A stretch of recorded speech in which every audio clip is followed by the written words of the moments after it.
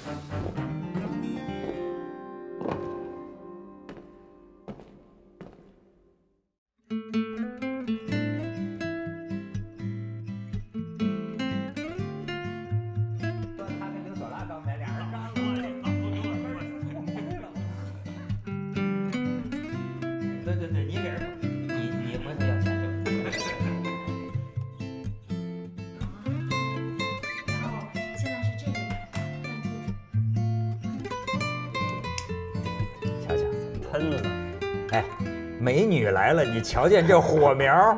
我天哪，李艾，我跟你说，嗯从来这么多集，这火苗没这么往上冲的。我的天哪！你刚给他加了哎你瞧瞧你的心情男人呐，你男人呐，你看到吧？我的娘啊！那是你，那不是男人，那是你。表代表我心中见到你的这个火呀，李艾，开心真的开心开心。你是真是，哎呀，救了我们，录了这么多集啊，终于有一个，哎，不能说人家难看 是吧？哎，冯唐高兴，冯唐冯唐喜欢美女，哎。心里开出花来。对对对，本来今天冯唐有事儿呢，听说就说李说李艾要来哈，坚持一下再等会儿吧，再坚持一下。我也开心啊！你看我现在坐的这个位置，我估计这个一大帮姑娘们这个羡慕妒忌恨我坐在这个位置，是吗？都是想，谁不想谁不想跟冯唐坐一块儿啊？是吧？嗯那都大家都希望坐在我这上，反正你看我可以这么近距离的瞟大家。哎呦，李艾真是，你说 你会看说话啊！就就都结了婚了，身材还这么好。就是结婚了，身材能更好，哦，对我这个也是老观念了，是吧你？们呢？对吧？你为什？么结婚之后身材可以更好呢？嗯，就是有滋润嘛。呃，结婚前的那个他可能没有现在心里头这么安对定的。，结婚前的滋润叫没保障的滋润，结婚后的滋润叫有安全感的滋哎结。婚前是云雨，结婚之后是自来水。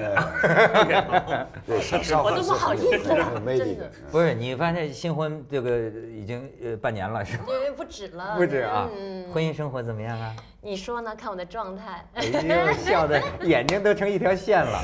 哎呀，越说点越不好意思了。觉得乏味吗？现在还没到那个时候，还没到啊对，人家说七年之痒呢，冯唐等着呢。不是，还还有一阵子呢。我今天给你找了一个婚姻方面的导师，这你叫李小牧先生，嗯。你听说过他的英雄事迹吗？嗯听说过。在那遥远的日本，对对对，那那那条街上我还去过呢。这是你看我这兄弟就是帮忙救场，嗯。就是从日本飞过来啊，来来参加我这个支持我这个你说我在我特想，我今天刚刚刚下飞机，嗯，就是现在主要时间还在日本啊。对我主要长时间在。差一个小时，哎，小木老师，您那条街上你就，叫小木哥就可以。哎小啊小木哥，对对对对对。您那条街上只要是中国人，就是在那边营业的话，都是您的人吧？啊不不不，都是游客，中国游客也是他的人 不。是，就除了中国游客，就是只要在那儿有工作的，都是您的人？呃，不是不是不是，不能这样讲。我我只有两条街，还有其他街是别人的。啊，他的势力范围两对条街，对那可厉害哎了。但是就是小莫手下的这个呃小马仔。小弟啊，嗯。我跟你说，李艾，下次去我应该给你介绍一下，帅哥，东北的是吧？是是是而且而且小木手下的这个小弟啊，特别靠谱，你知道吗？因为他这我到他那儿去找他玩嘛，他就得带我去一些什么，没去那些场所啊 去去歌舞伎厅、餐厅是吗？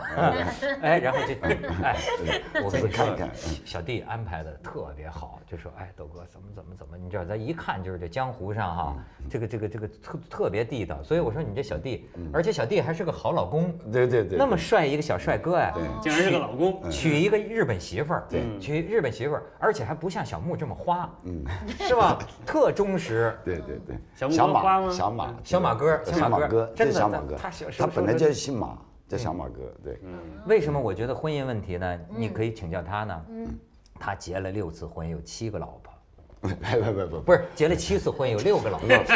结了六次婚，有四个老婆，哎，怎么少了？对不不，等于四五六是同一个人嘛，就离了，四五六是离了又结呃是吗？对对对对，所以我还是急救起来您您确定我真的要咨询他吗？峰哥觉得你应该咨询一下，要不峰哥等不及了。你你生命还有很长，你说现在大家那个要活多活好长时间，过去都是六七十岁嘛，不有的是机会，现在一百年了有的，是机会。有有的是结婚的机会是吗？对对对，有有的是离婚的机会。这里面我对对对对哎，就是说这个，当然现在这个李艾也特别红，对吧？是吧？李艾，但是李艾，你对网红是怎么认识的？呃，我不知道大家感受的这个网红是啥样的哈，因为我之前呢还真的去主持过一次，就是关于网红节，就是类似于就是把呃还挺顶尖的一批网红聚在了一起，然后评了个奖啊，人有我是见到那个观众席上面，所有的人都在直播那些网红。哦，那那是那可能是，比如说我也主持过类似于这个汽车发布会，嗯，那是吵成一片，就是我在上面主持，下面一帮姑娘们还举着这个自拍杆儿自拍杆儿在那接着说啊，也有这样的。你说这个，我我我不知道有没有冒犯哈，就是说你也是模特出身，对对对，嗯。你觉得对于比如说这个你主持这个车模、汽车模特的这个啊嗯嗯，对车模身材的要求和你的身材有差别吗？到底是车模还是网红，这得分清楚。先说车模，先这说车模，个车模它不太一样，差别比是不是车模需要更丰满、风骚一些的？呃因为像你这身形就是标准模特，比较瘦长的。对对对，就是我还不够玲珑剔透。你这样是这样子的，那个 玲珑是玲珑，剔透没法没法剔透他他有时候那个他也挺剔透的啊。所以模特如果像我们这样时装模特，最主要服务的是衣服。那车模呢，他就是他要服务他。不能说服务车，但他需要的一个最重要的这个呃关键点是要吸引眼球，对让更多人来这个展像文涛这样的。猥琐中年男的，一看这女的就觉得，哎呀，我要买这么一个车，旁边一定坐着一个这样不的。是你你想想，车展有多少个展台是同时开放的？嗯，你不像 fashion show，fashion show 这一场就这一个秀，对是吧？大家对坐到那儿静静的就看舞台上这些事儿。但是你车展多少个展台同时开放？但是你这么多观众进来，你没有办法，你怎么用更好的办法把观众就吸引到你这个展台上？特别而且大部分买车的还都是男性，对，所以对吧？靠你同行了。对对，所以他他这当然这招你说他高不高明吧？个人就是这是见仁见智哈，可能有些真不高明，因为来的看如果都看美女了，对于车他可能也没那么关心，他只是赚到了这个彩头，他不见得真的达成了买卖，所以这个事儿也有待商榷哎。小木，嗯你知道这个现象吗？就说中国的这个车展呢，搞成这个车模选美大会了。对，日本宣传汽车会也是这样，也会穿得很性感，但是没有中国这么暴露。会请什么那个波多野结衣之类的。呃，AV 女优一般不会，但是他有专门你的，想的 我想帮宣传汽车对嘛。它呃它会有专门的这种就是车模，嗯，车模当然跟刚才嗯李艾哎像李艾讲的一样，就是跟服装展示不一样，它主要是展示车嘛。那女孩子怎么吸引？她不是说想象日本是个色情大国，就是用性来表现这种东西，但还是会有，就一定是很漂亮，该有的地方必须要有。哎，我我不是批评你们啊，就是服装模特儿有时候没有胸，反而更时髦。嗯，哦但是呢，车模必须要有我都不敢往胸，往哪看。对车模必须要有 要有胸。哦所以你看中国的车模，当然比比日本还夸张一点，那几乎就没有没有没有那个罩子在上面，就剔透剔透呃，就搞剔透的，对就搞个纱挂在上面，那就吸引眼球。冯哥对这个很有认识了。从来没去过车展，哦 我给车代言过，但从来没去过车展。但是你是网红啊。那我知道郭德纲结衣，咱咱们几个里边，我觉得要要说目前来讲最网红的应该算冯唐了，他是在网上资深网红。网红。你这就本来我告我跟我都跟你说，我跟那个优酷的人说，我说我们这节目这讲文化的多高尚啊，你们这干嘛不宣传呢？不力推啊，是吧？然后他们一看这名单，说哎，你要多请冯唐这样的，我们就给你推。就是我们那个优酷的那个那个粉丝啊，就就喜喜欢冯唐，自所以我就带流量，这叫做世代世代对对对变了。流量小生儿，嗯对哎对对。这现在这这叫流量小生哎呀，真是，所以所以而且他不仅是他是流量小生啊，他现在啊推出一个流量老旦，嗯，我注意他的朋友圈儿，就冯唐嗯，冯唐挺有意思，就是他老是发，我发现你跟你母亲之间晒妈，有一种特殊的情节，嗯，对吧？你可以先看他整天在朋友圈里晒他妈，你可以看看他把他妈也晒成朋友圈网红了，咱看看，你瞧，哦，啊，你看这头发，你再看下边儿，呵，你瞧这一个，啊，哎，你瞧，嗯。哎呦，这家伙，老太太八十岁了，哦。八十岁了，八十岁。哦，能吃能喝能骂人。嗯，哎，就是你的妈妈跟我们传统意义上的那种妈妈好像不太一样是吧？奔放的他。蒙古人嘛嗯，他如果如果在早年就是萨满教的这个教主的，哦，哦，就是他语言很丰富，嗯。酒量特别幽默是酒？量很大，啊，他也很多呃我写的东西一些用词是来自他喝多了之后的一些 相似。挺好，挺好。咱们知道创作的源泉是谁了。这里我我也喝喝酒些，我也喝喝酒些。哎，但是你小时候他对你的影响是什么？是专横型的还是什么？没有，他第第一呢就是不管，就是你爱干嘛干嘛，爱看什么书看什么书，爱做啥做啥，不上学就不上学，拿第一就一直拿第一，就反正你就呃散养。哎，哎，第二呢是我买书他给钱，别的就不给钱。然后第三呢，呃，天天家里就有点像这种环境似的，流水席，总有十来个人在那吃东西。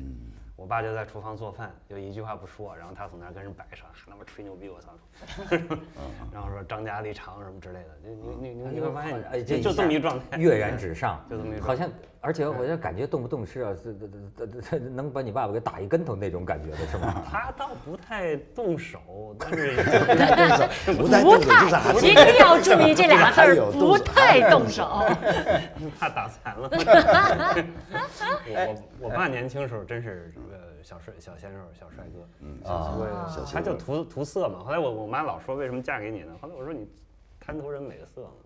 哦，哎，所以你看他妈妈是这种荡气回肠的这种啊，嗯，哎，这也是，但是我也给你看一网红，我们这个节目啊，就是做过实验的，就都被废弃了，录过一些节目，因为那个小样儿。做那个样片儿，做试片，然后在深圳呢录过一回，他们真给我找了一个网红，这网红从哪儿来的？从惠州还是从哪儿？我记不清了。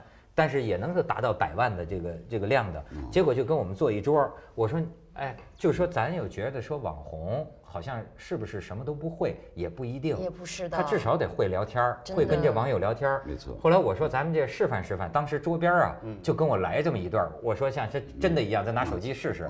哎，你你们想不想看看？你们看看看看看。看看，看看，看看这段儿，效果非常好。哎呦，你瞧瞧，我拍的，哎呦，好家伙，拿高一点。梨花带雨啊！哎呀，一脑袋黄毛啊好啊，哎，行，现在直播开始，one two three。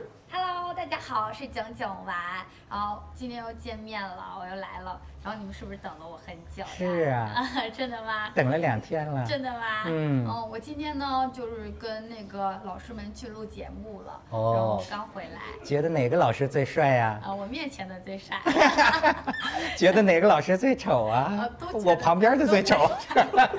啊都，很帅，都很帅。好，我现在送你个林宝基尼。哇！嗯，但是你得给我唱首歌，嗯，好吧，那你想听什么歌？你可以点一下，对你爱爱爱不完。那就是那要开始唱了，随便意思两段吧。好，对你爱爱爱不完，好了吧？就是就这一，一谢谢谢谢谢谢。哎呀，讲的不是这多好啊，这多吸引人呐、对吗？比咱们节目好看太多了。哎早早期进凤凰就没你啥事儿。是是是是是。哎，作为一个综艺节目的主持人，你看到这种表现，你打几分？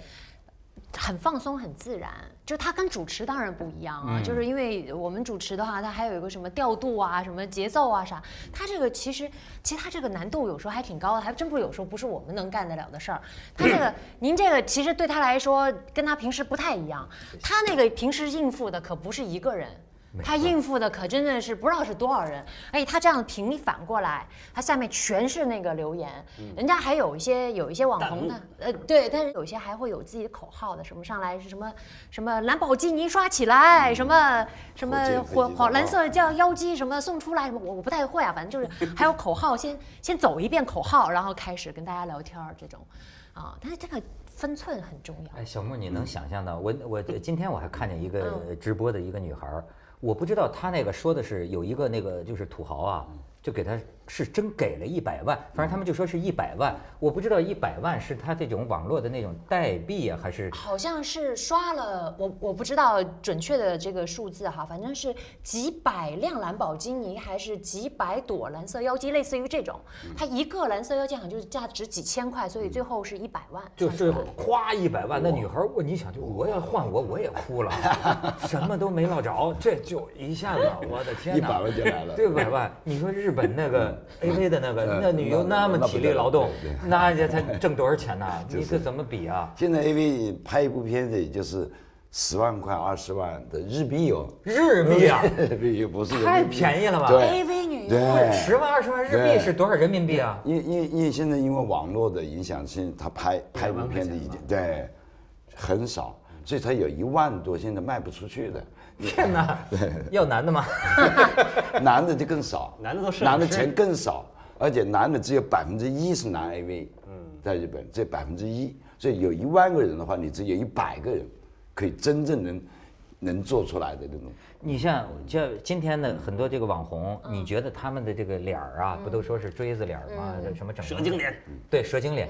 但这个蛇精脸的这个美审美的源头，有人说是什么，我就不太懂了。有时候日系的，有人说韩系的。你你你你明白这个吗？我也不是很清楚为什么，就但肯定是跟上镜有关，就是因为上镜现在我们都是十六比九，但是那个拍出来不是人都会胖一点嘛，但是很多就是演员他上镜啊，他好看的话，他必须得瘦，真人看特瘦，你就啊就是现在得得天独厚，上镜就就圆就圆起来了。对他都有点偏稍稍宽一点，对咱这我都他还宽宽我上镜是胖的。成成案板了。对，我跟你说，我就好多观众真见到我就会，特别是老上点年纪的观众看见说，妹子，你真得那个，你你看你都瘦了。我说我一直都这样，只是上电视就胖。对，他就没主要办法。是拉着你的手啊。从这儿累死了。哎，是好，有可能是哈。绝绝对的。我跟你说，我们那儿就我亲眼见的，就一个就是美啊女记者采访一个那个老人家，老人家真的是。一直在沙发上就这么，一直这么说呀。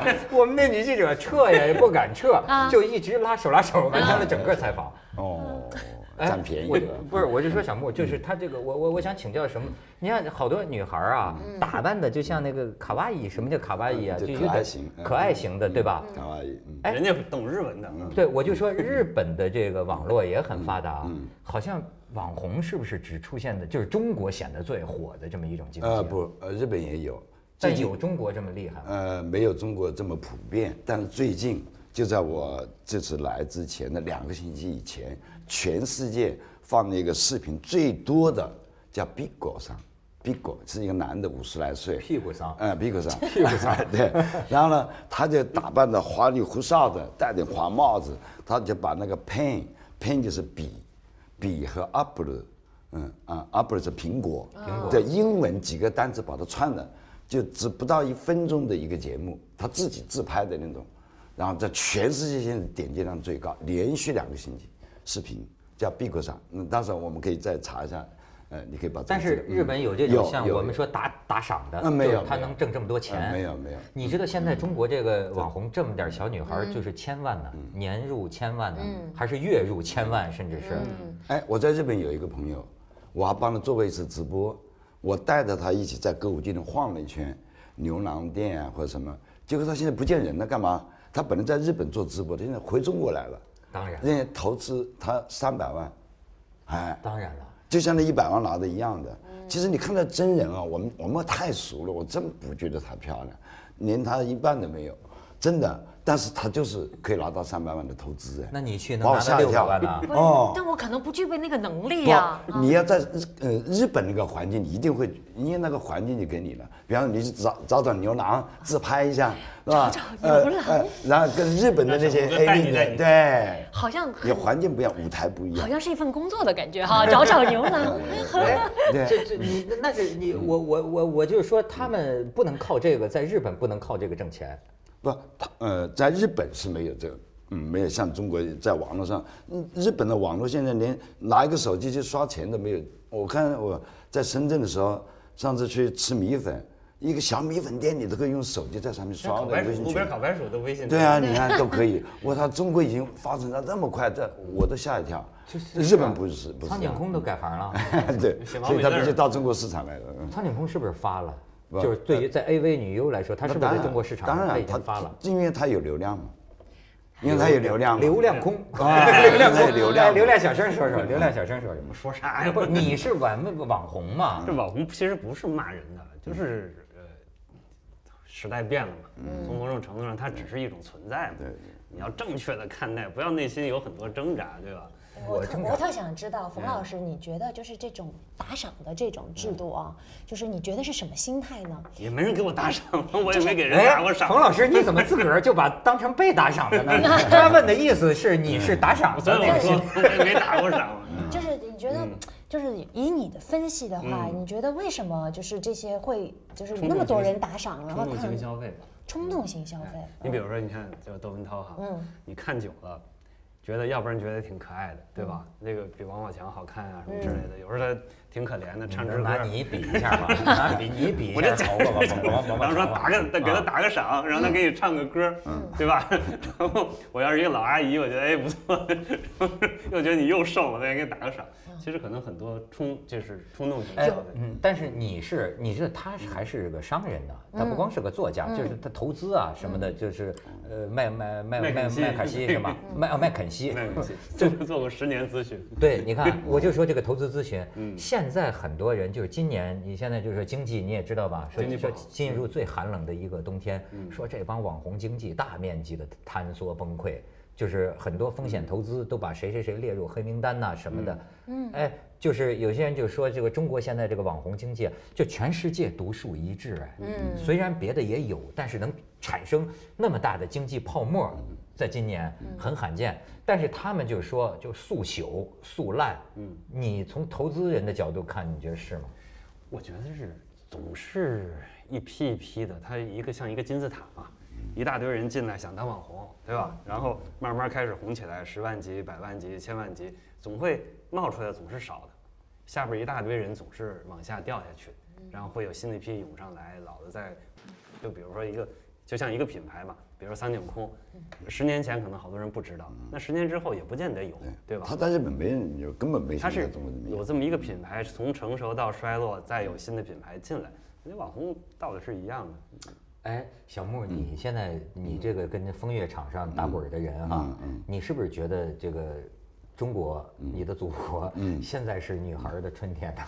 是赚赚钱的春天是，以前我觉得日本是女孩的春天，对吧？为什么呃，因为因因为日本有色情行业嘛，有 AV 嘛，可以公开的，而且合法的嘛。但中国因为没有男孩的春天啊对 不是嗯女孩儿嗯嗯，因为他能得到很多钱呀，啊，天哪那那当然，他跟所以在他年轻的时候，他能挣的就尽量去挣。但是现在不是这个时候，是是网络的时代，那变成中国的网络反而比日本更加先进。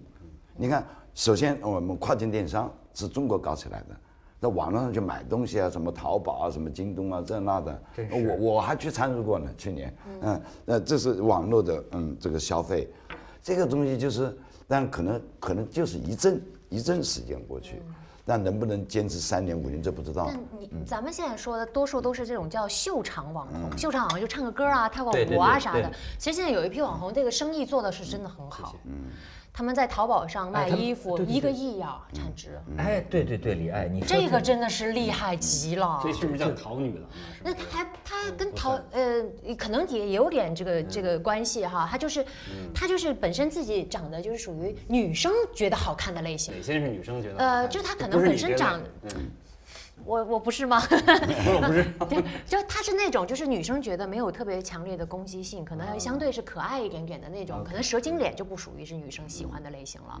然后他是女生也觉得他蛮可爱，是女生想要成为的那种，嗯，那种感觉。他童星看上去也喜欢的那种。你你说的这个还真是有意思，就是说实际上现在是女性经济了，嗯当然就是你在找着，就是说满足这个色狼那一套啊，不好使了。对，而且什么叫女性经济？就是你看我现在跟一些女孩聊天啊，女孩就觉得咱们的男人呢都是傻叉，嗯那是这是人家说对这了，女孩就说你们你们觉得哪个女的看见你们就啊眼里拔不出来了？怎么可能？她说她说就是说呃我们女的最会看 beach。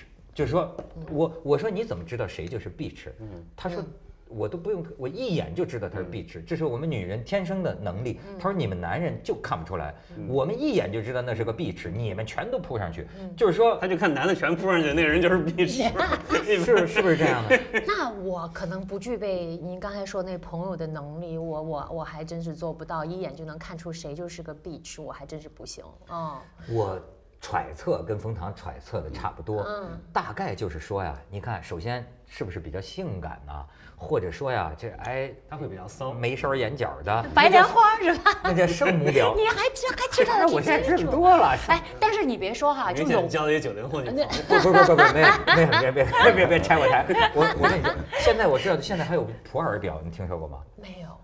普洱，普洱。表是什么意思？我现在就是普洱表，他是普洱男就是表，就是这种普，你能想到普洱表就泡茶的哎。表，感觉白鹤亮翅，韩信三很点清雅呀，来了 茶盘给你一弄，然后这衣服啊这一套关公摆个茶席啊。对对对，韩信点兵啊，关公巡城，做出一副那个很清雅的样子，但是实际内心满是风骚，这叫普洱表。哦，哦，我第一次听到。心机表、绿绿茶婊，你知道哦，这绿茶婊知道啊。对啊普洱表，念个唐诗啊，背个宋词啊，哎去个台，湾呀。这品类你们都知道比我多清楚。哎，你你别装糊涂啊！他他摆这些东西有很强的既视感。你别装糊涂，不是，我就跟你探讨，就是刚才你说这问题很有意思，就是说，呃，这个网红，嗯，过去像咱看到的很多打赏一百万的这个，那个这是吸引男人的，对对吗？还有一票呢是专门就是吸引女生的，嗯。而吸引女生的这部分的产值就是它就是变成比如说服装啊，然后化妆品啊，对的对，然后小孩的东西啊，啊对孩子的东西啊什么的，它它这种就是完完全变成了这个产业链了。我我我知道有一个就做的最大的那个女的，我觉得实际她还是有这个一种触觉、嗅觉。对时尚的嗅觉。各个女的都穿上衣服，她在街上照，但是这些女网友们就觉得她代表时尚，就跟着她买。你觉得这个是什么肯来的？他肯定是有她自己本身能力的地方，就是她对时尚的触觉跟这个敏感度，她知道这几件，比如说我有这几个款式可以挑，我就知道这个款式会成为爆款。嗯，那这个肯定是你跟经验。说你要你要干这行，你也是啊时装模特嘛？对对对对对，你觉得你能把握住吗？就是不好说，真的不好，这个真的是。咵一穿因为，因为有个什么东西在里面呢？就是我们接触的这个，它可能相对是时装产业的那个那个层面，可能在产业那一边，而不在顾客这一边。他们接触的这一票，他天天跟网友聊，你知道他们那个互动性非常强的，他天天跟他的顾客聊，其实是他就成为了顾客的好朋友。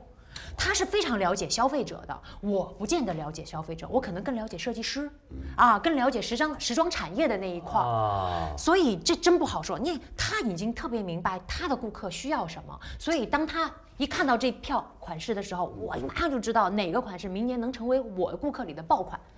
他就可以先下单，他等于是帮着他的顾客先下了那么那么多的单，然后他也能保证把这些全部卖出去，这是一个好买卖啊！人家年收入过亿呀、我最近我最近发现啊，在日本的街道上，嗯。呃，各种就是像青山呀、代官山呀，包括伊斯丹，好多中国小女孩儿自己拿个杆在那拍。对，她就是首先因为中国还没有的，到先进国家或者到日本，因为日本的服装时尚离中呃离中国很近嘛，都一样，黄皮肤、个头对吧，都长得差不多，肤色，然后那种形状，日本的设计师太多，嗯，所以跑到那里去自拍，嗯所以他从那里就可以发掘很多东西。所以现在很多中国年轻女孩子在那里买完东西，大包小包的拎到我们店来了，嗯哇，坐在那里两个人拿个，我想他们俩是网红。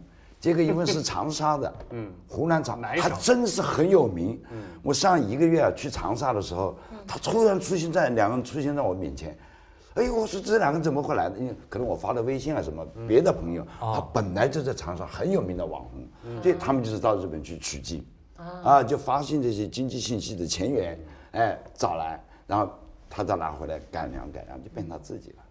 这些啊也是不容易的，对对，是吧？？对，他肯定有是有商业很努头脑力的还他他有他的商业头脑。嗯，你像，我觉得这个啊现在有些人就是说，比如说像你像李艾，嗯你从小出道奋斗这么多年，是吧？这个饱经沧桑，就 受尽欺压，没有等等，才有了今天，对不对？我这是取经呢，我这是。对身心身心受到很多摧残，才有了今天的成就，对吧？哎，但是我都不好接这话啊！你说十八岁的，十八岁的，对吧？咵咵咵就月入千万，嗯，嗯，你觉得这会对他的呃心灵啊产生什么影响吗？我都很爽的影响吧？很幸福。我倒觉得，我倒觉得给了他自信。如果在年轻的时候给他自信，如果他继续好好的走下去，他可能更成名，更能挣得更多钱。不管他两年三年，我觉得他啊可能更苦，他们苦恼的可能就是接下来我该往哪转。你红了一阵以后啊你现在我已经这事儿呢，就有点那前前两天我们还在聊呢，他就你看泰国的那个。他不是每年都有那个选美皇后什么的吗？啊他也是一茬一茬的。这一茬过后，那那天戴军，因为他不是很熟泰国吗？他还说呢，他说那个他为什么很熟泰国呢？他这泰国小王子，熟悉 泰国什么行业呢？在泰国待着。然后他他他他很喜欢在泰国，泰国买了房子什么的。然后他就说，这个人家前前几年的这个皇后都已经不知道在哪里了，现在都大家只看到新一批的皇后，这都一样，都是一茬娱乐圈什么的，其实哪个行业都是一茬一茬的。那接下去往哪走，可能是他们更更加所以他重要的部分文涛能有另外一个生意，怎么让他们变成常青树？可以咨询他们，因为文涛十八年了嘛，对吧？哎，哎，对，嗯，我这个靠的是老腊肉的这个 风干的劲儿，是吧？哎，就一是股邪气顶在屁其实。很，其其实很多时候咱们都是就是说替替替谁替古人不，他们不是古人了，很多人都在。我发现这个成年人就喜欢说，你看这些小孩儿，对吧？嗯，哎，就是图着一时的这个什么，但将来怎么着呢？他红的就是红红红一时，其实你你焉知啊？对，谁人知道自己不不是人家自己不知道吗？我就是挣这个快钱的，我就是这这一年挣了一千万呢，挣了一千万干什么不好啊你？想想那个，就是年收入过亿的，这挣个两三年是吧？对，就可以嫁人了，就可以过上恋爱这样的生活。还愁啥呀？就可以 包人了，包人了包人了，我不着嫁人够不上他那生活，不过亿的，你说是吧？哎，但是你看这个冯唐，你对这个也比较了解，对吧？你说我 我一写书的，你接着问吧。不是，我就说现在网红的这个词儿啊，越来越多见啊。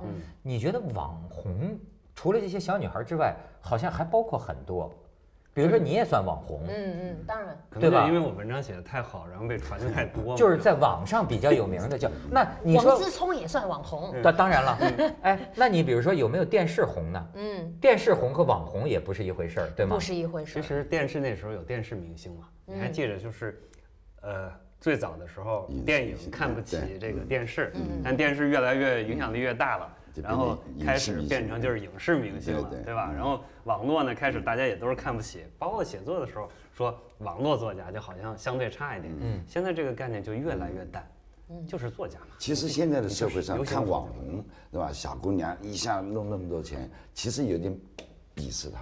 我觉得不应该这样。一个多元社会，什么东西都需要，他能快的挣钱也好，哪怕他就是以前面是有点性感也好，或者是慢慢用服装、用物质也好，哪怕它是短半年、一年，我觉得都是合理存在的。我们应该去支持这种事情。就是草本植物也是植物。呃，对对，我想是社会上存在的就是合理的。那这个就像在日本有 AV 女优一样。对对对，我刚才就想你可能是嗯 AV 女什么袁娇妹的代言人呐。不是不是，哎，你觉得就是咱们很多时候就是从这种父母教育这种，呃，你觉得日本的这种小女孩儿，在很青春年少甚至上中学的时候对，跟中年人换这么一个东这种援交，你认为都是存在的，也是合理的吗？那只要是在法律上允许的情况之下，援交是属于自由恋爱，但是他如果是没有满十八岁，你是多少年以后发生的事，照样抓这个男的。呃，只要满了他十八岁以上，他自由恋爱是合法的，要不然歌舞伎町怎么会有几百、一百多间情人酒店来干嘛的？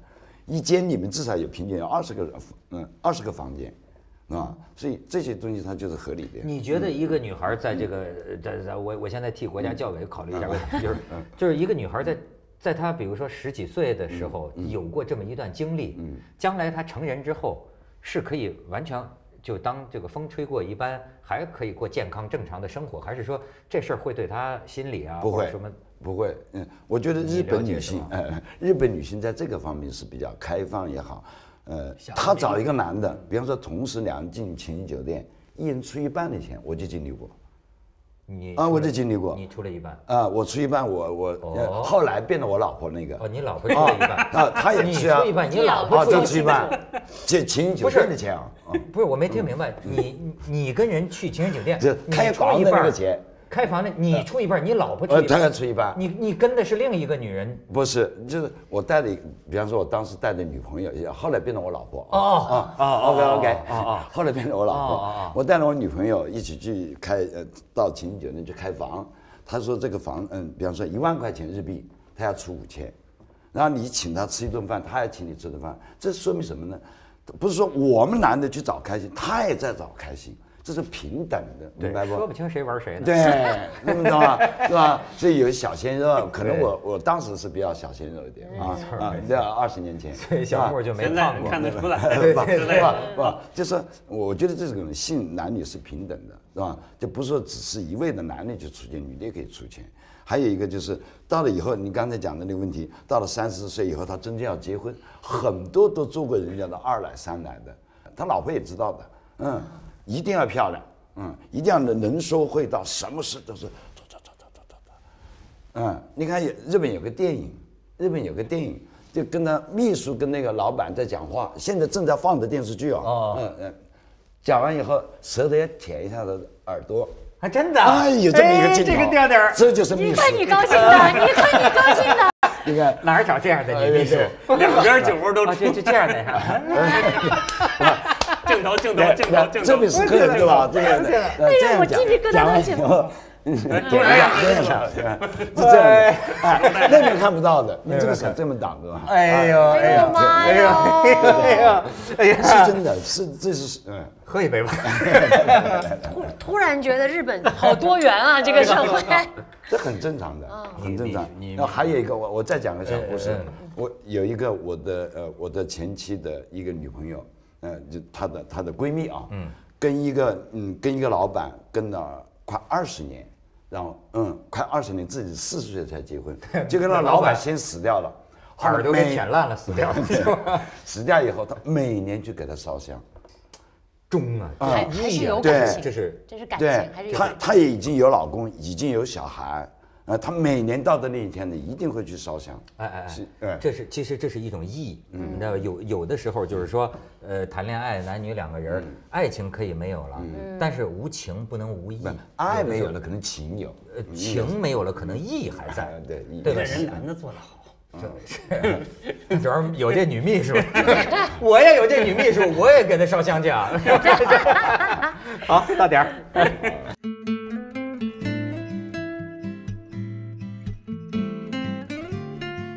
我我跟你说，现在我知道，现在还有普洱表，你听说过吗？没有。普洱，普洱表是什么？我现在就是普洱表，他是普洱男的就是表，就是。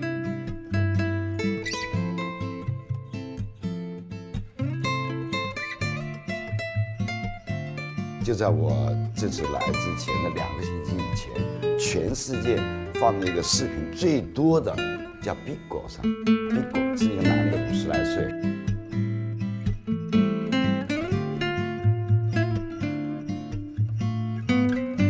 我在日本有一个朋友，我还帮他做过一次直播，我带着他一起在歌舞厅晃。